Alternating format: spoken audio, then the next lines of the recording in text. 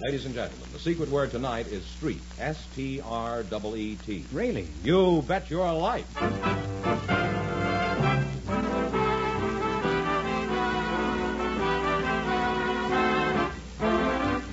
It's Groucho Marx in You Bet Your Life, the comedy quiz series produced and transcribed from Hollywood and brought to you by the DeSoto Plymouth Dealers of America, who invite you to see and drive the delightful, the lovely DeSoto for 1956.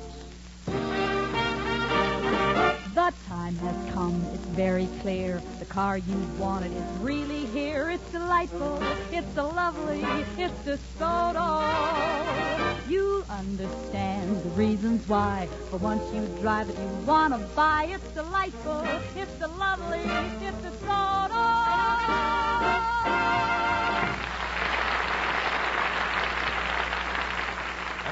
here he is, the one, the only.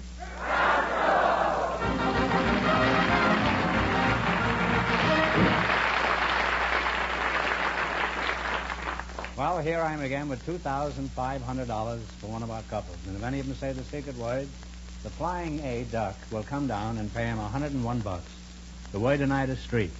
Well, um, Groucho, just before we went on the air, our studio audience selected Mr. Mentor Klein to be on the program tonight. His partner is a very special guest, Dr. Giovanni. I've seen Dr. Giovanni work, and I thought that if I invited him down to the show, that you could have some fun with him, Groucho. So here they are, folks. You come in, please, and meet Groucho Marx. Hmm. Well, welcome. Welcome for the DeSoto Plymouth dealers. Say the secret word, and you each get an extra $50.50. It's a common word, something you see every day. Well, what have we here? Two men, huh? How dull. Mentor Klein. That's me. Yes, uh, Mm, Klein that's and right. Dr. Giovanni. Where are you from, Mr. Klein? I'm from Chicago. In fact, I'm from the South Side. Uh, South side the- of Chicago? Near the Forestville School. I, didn't you go there? No, I never family? went to school. I uh, I lived in the South Side, but That's I right. I didn't I go to right school. near there. I went to the Wilson Avenue Theater. well, why did you come to California? I mean, was this the gold rush? Or... For the air, get nice, clean California air. We Well, you're licking your wounds now, aren't you? thought I'd spend my declining years. Well, you'll spend your declining years will be very swift if you stay here. I would say about three more days of this will do it to all of us. Huh? Are you for Hirat? Yes, I work for the Pickwick Bookshop in Hollywood. I asked if you were married, and you oh, said you worked for a I'm bookshop. sorry. I am married. I didn't understand your German. Yeah, well, uh, it's not top grade German. but you, you are married, huh? I'm married, yes. I Despite married the fact that you work in a bookshop. That's right. You know what? With the movies, television, and the do-it-yourself craze, I'm surprised there are any bookstores left. But people still read? Oh, yes. People are more literate than ever, I think. They, they, they read more than ever. Is that true? Yes. I know. I went out and bought a book right after I bought my television set. One of the legs on the set was short, and I used it to prop it up. you, are you Dr. Giovanni? I am Dr. Giovanni. What kind of a doctor are you, doctor? I am uh, I'm a manipulator. Oh, a manipulator. Yes, sir. In other words, you're a chiropractor, huh? No, I'm a manipulator. Well, what kind of a manipulator are you, Doc? Well, you run a shell game down on Main Street? No, I'm picking pockets. I'm the world's greatest pickpocket. That's a pretty strong statement there, Doctor. It happens I come from a long line of pickpockets. I am in a theater in um, a nightclub. I ask from the audience people to come up, and I relieve them from the pocket book, from suspender, and watch whatever they do. I get them. You do this in a nightclub? Yes, sir. Pretty tough spots to operate, isn't it? Mhm. After the nightclub gets through, there's not much left in their wallet. how did you, how do you get away with this thievery, Doc? Do people Well- know when you're extracting their money? No, I get money for it. I take them away and Or I, do you return the money? well uh, later on. Yes. You mean about 20 years later? No, no, after the show. Well, a man would have to be pretty dumb to let you get away with anything like that. Do you just pick on squares, or have you ever lifted anything from anybody that was real, uh, real smart? Well, it was uh, Real one, cool, I mean. One gentleman, me. One gentleman was very little, very really cool? outstanding. Uh, he was not too dumb. I took his pocketbook and his watch and his suspender, and uh, the gentleman looked around uh, less than one minute, and the name of the gentleman was J. Edgar Hoover. Well, what did Mr. Hoover say about this? Did he give you a... Well, he said... Did he take is- back his vacuum cleaner? No, he said, uh, you are the fastest worker what I ever seen. And thank you, you return me everything. Oh, I bet he says that to all the pickpockets. I don't think so. well, Doc, I'm curious to see you operate. Let's see you take this uh, bookman's wallet. Could you do that? Would you like to see? Yeah, I would love to see Step it. And I'll over be here. watching you like a horse. You step over here and watch need- that very careful. I need Now, usually, which pocket you think the pocketbook's supposed to be in the pocket? Well, they usually have it over here on the no, no, side, no. This pocketbook is in that one, you see. Now, how did you know that so it's, it's here. This is it. this is something. You like it? Yeah, I'm crazy How- how you like this one? Come here. with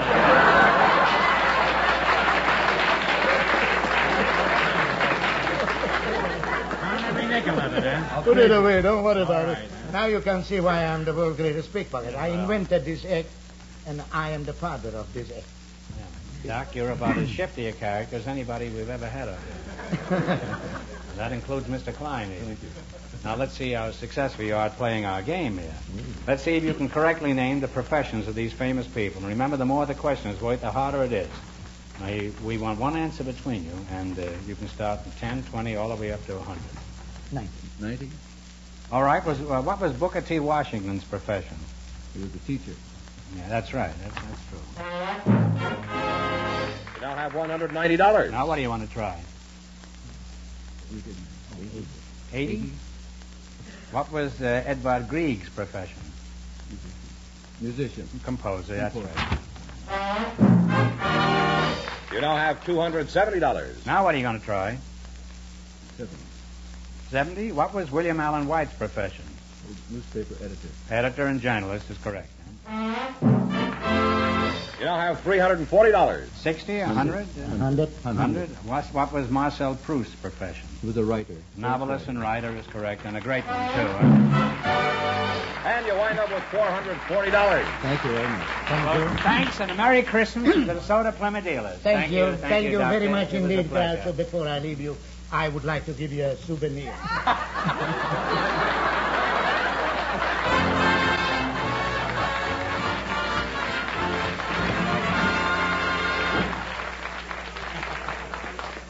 Whether you're driving on a long cross-country trip or wheeling your way through city traffic, you'll stay more alert and safe when you drive the new 1956 DeSoto with full-time power steering, one of the new DeSoto's great safety features.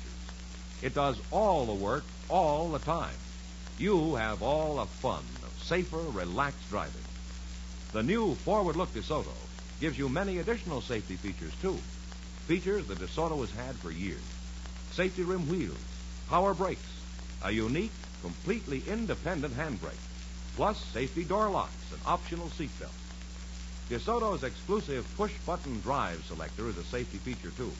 It's out of everyone's reach but yours, and you can't make a mistake using it. In a word, with the new DeSoto, you get everything for safer, more enjoyable driving, plus the greatest price deal imaginable. We dare you to compare DeSoto with cars priced $2,000 higher. Yet you can get a wonderful deal on the new DeSoto today. That's because DeSoto sales have already doubled last year. Compare. Drive and price a DeSoto before you decide. And remember, for a Christmas gift that will give the whole family pleasure all year round, give the delightful, the lovely DeSoto for 1956.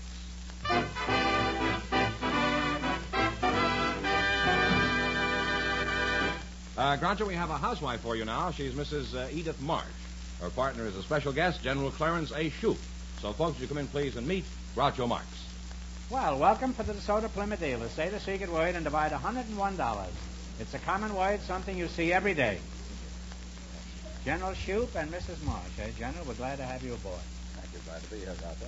Mrs. Marsh, I notice you spell your name uh, E-D-Y-T-H-E. That's Edith. Why is that? What's wrong with the uh, regular, customary way of spelling it? I know of no other way to spell it. I've always spelled it that way, No, all. I- do they call you Edith or Edith? Mm, they usually call me Edie.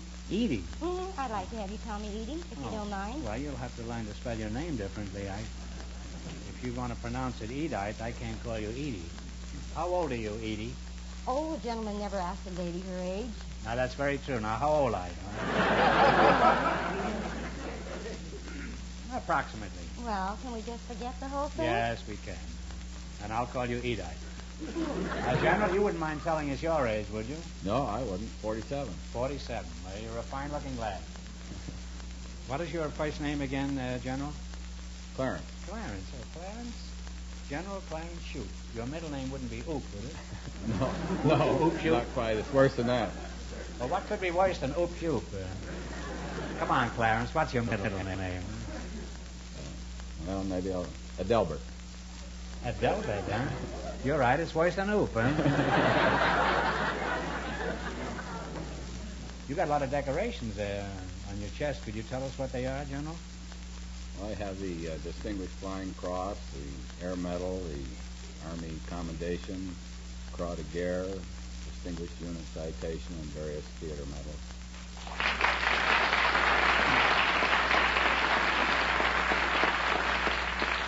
You could probably wear a lot more if you wanted it, couldn't you? Not legally.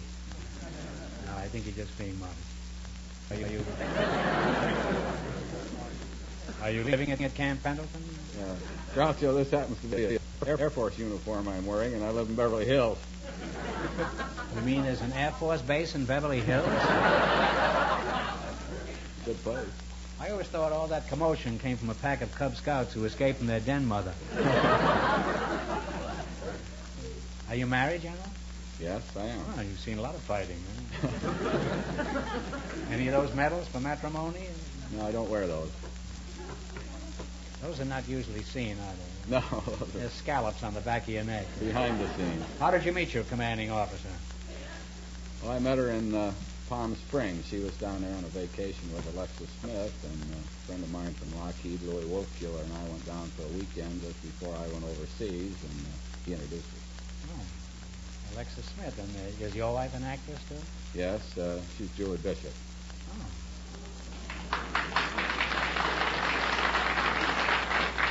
Well, you have a very attractive and talented star for a wife. I've seen her in many pictures. What are your duties these days with the Air Force? I'm commander of the uh, 146th Fighter Interceptor Wing of the California Air National Guard. What does California need an Air Force for? We have no air out here. what do you fly in? Nothing but smog, huh? Uh, we get above the smog. How high do you have to go before you get out of the smog? It wasn't very high today. It was only up about uh, 900 feet. Oh. Actually, we're uh, the Air National Guard is a reserve component of the United States Air Force, and we're part of the Air Defense Command. And in that uh, category, we are uh, engaged in a portion of the air defense of Southern California.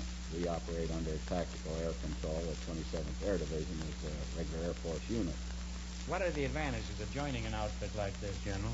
Well, I think it's a terrific, Groucho. It's a wonderful opportunity for young men now. They can serve their military obligation and still stay at home. Uh, we do most of our work on weekends or evenings, and these boys can uh, maintain their normal living. If they're going to college, they can go out and serve in the Air National Guard and complete their military obligation. It's a terrific opportunity. I gather you recommend this as a good part-time career for young men, don't you? I certainly do, and uh, I can speak from experience. I started out as a private and worked my way up to my present position.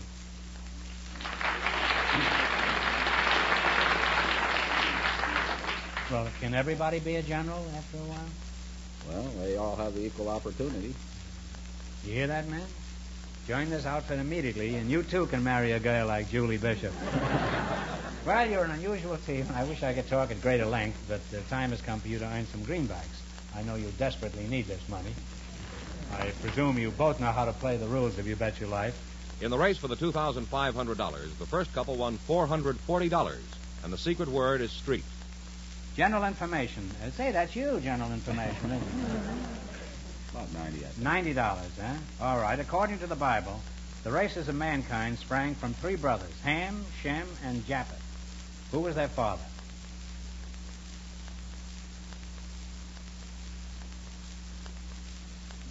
See if the general's been doing his homework. Who are those people again, Russell? Ham, Shem, and Japheth. J A P H E T H. Who was their father? You don't know, guess. Well, it was Noah. But if it makes you feel any better, General, I didn't know it either. I'll guarantee I didn't. Well, You uh, have half your hundred dollars. You now have fifty dollars. 60. What do the initials USO stand for? And I want the exact words. USO. United Service Organization? That is right, Edie. That is right. You now have one hundred ten dollars. Hey, she's pretty good, huh? Very Getting good. better now. Okay, what are you going to go for? She, said, she says try a hundred. A hundred. All right. What is the capital of the state of Nevada? We think Tonopah. No. you'll have to fly over Nevada sometime, General, huh? It's Carson City. Oh, You now have fifty-five Well, dollars. it's a tricky question. Everybody says Reno. Everybody that's divorced says Reno. Everybody gets wiped out says Las Vegas. What are you going to go for? 80? 70? 80? 50? 40? Eighty. 80. In order to protect a trademark, it must be registered with what United States government office? United States Patent Office. Never a truer word has been said. Patent office. You now have one hundred forty-five dollars, and that's your score. Well, thanks and Merry Christmas from the DeSoto Plymouth dealers. Thank you, Ralph.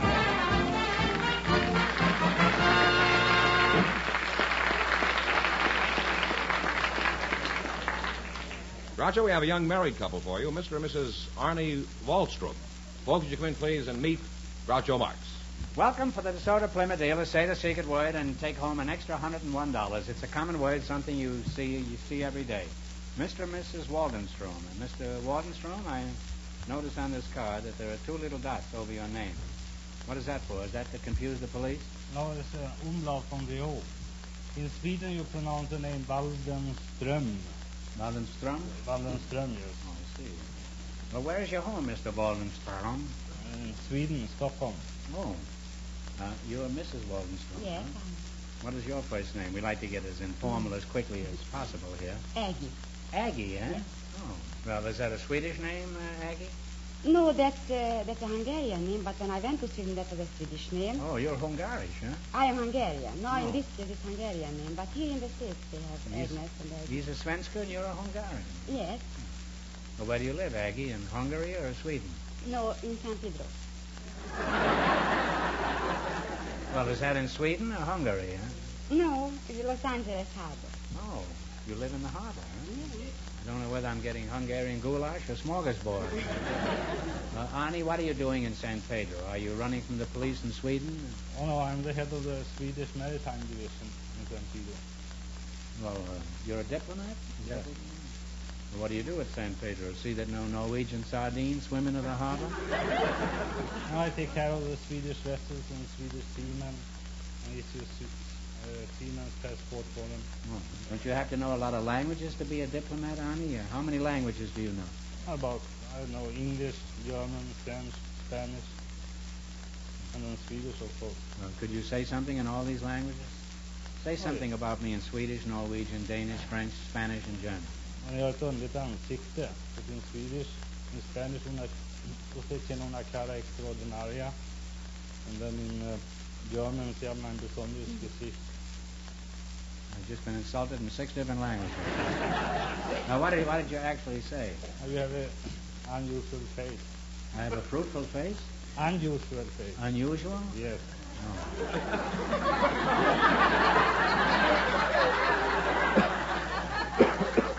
That certainly fathers north in compliments of the year. May I say a few words? You, well, May I, yeah, Mr. remember, you're a May I? wife, and just say a Yes, few. may I? Table, trees, sky, money, hand, car, ball, Nothing didn't say it.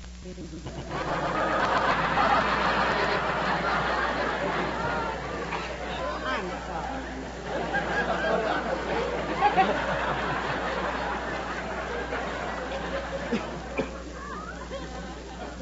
You know, in, they, in Hungary, you know, they say how you make an omelet in Hungary. Hungary. They say first you steal two eggs. That's the first and somebody once said, if you have a Hungarian for a friend, you don't need any enemies. and this is living proof of what I've just been talking about. Here's a woman had the effrontery to name eight different secret words and fortunately didn't hit it. How do you like being an American housewife? What do you think of our electric garbage disposals, automatic dishwashers, and all the American gadgets that oh, we they, have today? they are great. They are wonderful. But he wouldn't let me uh, buy those things because, you know, he wants to pay everything with cash. Cash. I like to pay for credit as the American people does. I mean, you buy and then you pay. but with him, that's impossible. Just cash. Arnie, is this true? You want to buy everything up for cash? Not everything, but That's- more or less. That's un-American, Arnie. You keep that up and you'll pauperize the entire American economy. It's a lucky thing you have diplomatic immunity. You know, you could get thrown in jail for wanting to pay cash. After you're here long, you'll realize that in this country, nobody lives within their means. Arnie, uh, Sweden is a democracy like ours, isn't it? Yes. But uh, don't you have a king there, too? Yes, we have. Well, do you have elections? Who's running for king this year? We have a permanent one. You have what? A permanent king. A permanent king? Yes. You know, 1956 is a big election year in this country. What is your biggest election? Uh, we had, uh, we just had an election about uh, driving, if the people wanted to drive on the left side or on the right side. That's what the whole election was about? Yeah.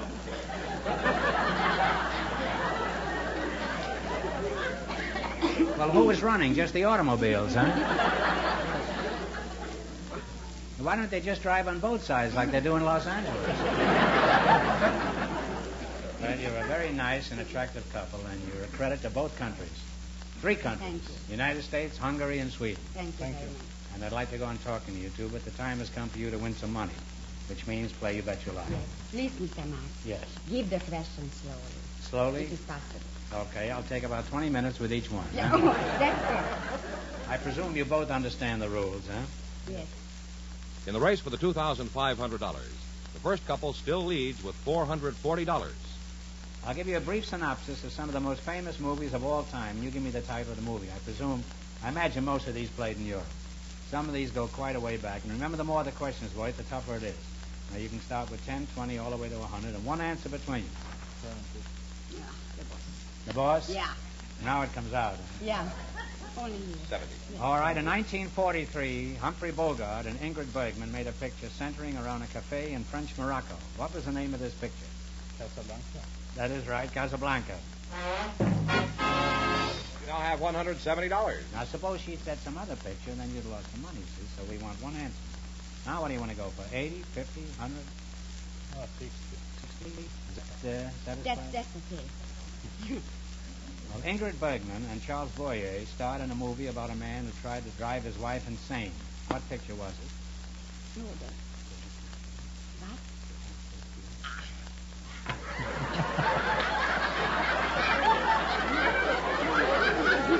They're married, all right. If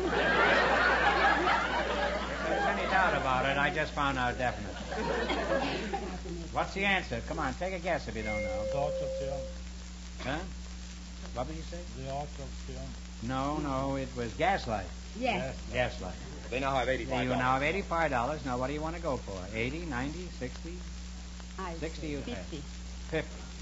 Audrey Hepburn and Gregory Peck made a picture about a princess and a newspaper man. What was the name of it? Holiday Roman. Well, Roman, Roman uh, Holiday. Romaine Holiday at the salad. But that's- And you now have $135. I had that at a nightclub, Holiday Romaine. It's very good. With Hungarian dressing. Now what are you going to go for? 40. 40? Yes. Gloria Swanson made a movie about a silent picture star who fell in love with a young screenwriter. What was the name of this picture? Sunset Boulevard. Sunset Boulevard is right. Don't go any further. You wind up with $175. Well, thanks and a Merry Christmas from the DeSoto Plymouth Thank dealers. you very much. Thank you.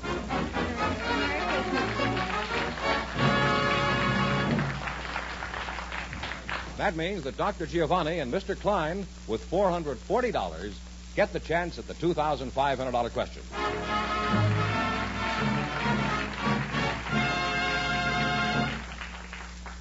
The delightful, the lovely DeSoto for 1956 has made such a tremendous hit with so many people that sales have doubled last year. Well, that does more than just make us happy. It makes it possible for your DeSoto Plymouth dealer to offer you an exceptional price deal right now on the DeSoto model of your choice. It means that right now, within your budget, you can move up to the greatest car in the medium price field, the 56 DeSoto. And that's a real thrill because DeSoto compares with the cars priced $2,000 higher. Just compare DeSoto's daring flight sweep styling, sensational new push button driving, full time power steering, power brakes. Compare these fabulous DeSoto features with those of the most expensive cars. Then you'll know why DeSoto is your best buy for 1956. Tomorrow, drive and price a DeSoto before you decide. And remember, for the greatest family Christmas gift possible, give a new 1956 DeSoto. You'll understand the reasons why. For once you drive it, you want to buy. It's delightful. It's the lovely. It's the soda. Groucho, here are Dr. Giovanni and Mr. Klein, all set for the $2,500 question. Right in here, gentlemen. I'll give you 15 seconds to decide on a single answer. Think carefully and please no help from the audience. Ready? The Harding administration was embarrassed by a scandal involving the unauthorized use of naval oil reserves. It was one of the biggest cases of its kind in our history. For $2,500, what was this scandal called? Talk it over.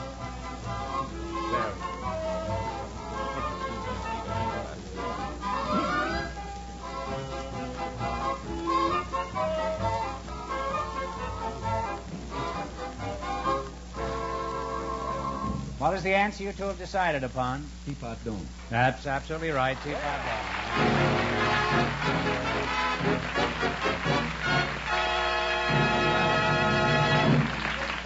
So you win $2,500 plus how much in the quiz, George? $440 in the quiz. That's $2,940. What are you going to do with all that money? I'm going to buy a hearing, a hearing. A hearing aid, eh? Well, congratulations and Merry Christmas from the DeSoto Plymouth Dealers of America. You bet your life. Thank you. You don't get bragged,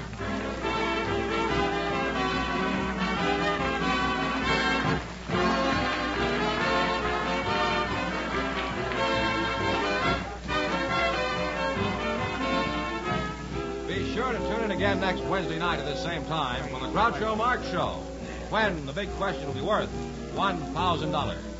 Don't miss the Chrysler Corporation's big TV show on another network.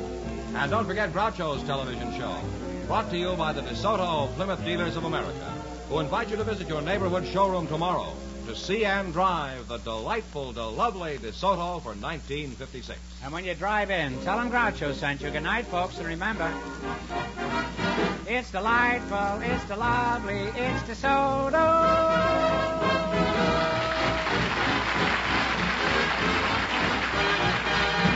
Folks, here's a reminder from the National Safety Council. Remember the motto if you drive, don't drink.